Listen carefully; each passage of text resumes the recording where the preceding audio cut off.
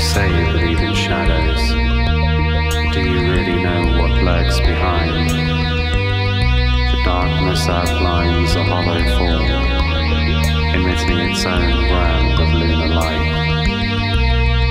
And when you think you've caught a glimpse, like a fleeting thought or distant memory, it vanishes from sight.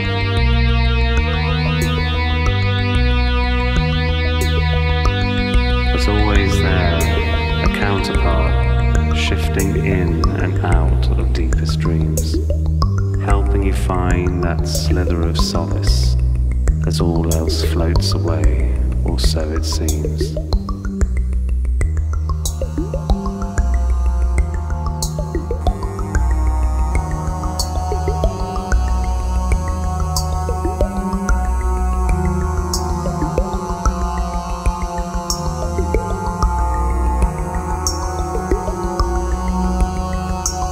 When our heavenly torch exhales its last breath of solar fire, shadows will fall upon shadow upon shadow upon shadow.